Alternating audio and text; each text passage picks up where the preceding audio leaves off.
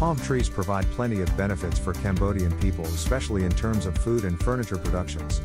In this video, I'm gonna share with you how a wine glass is made out of a palm tree.